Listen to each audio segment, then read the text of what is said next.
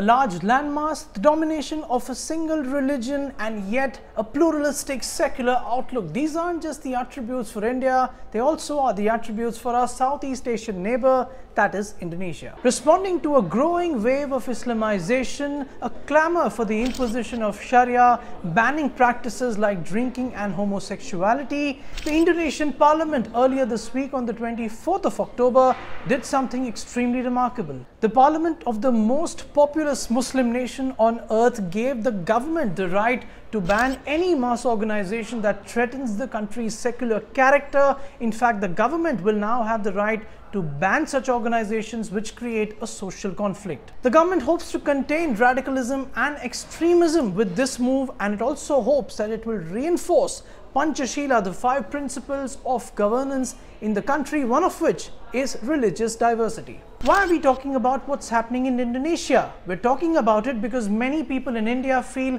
that the country faces a similar situation.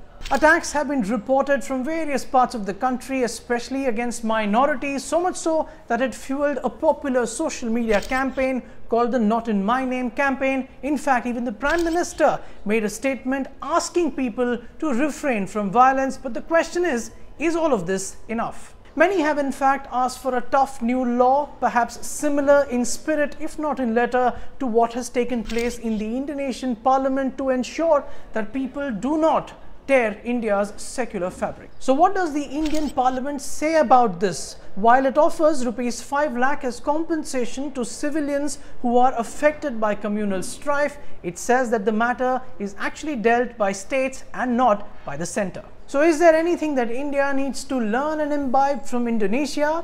Well, the government does have a policy called the Look East, which is now called the Act East, but will it is the key question.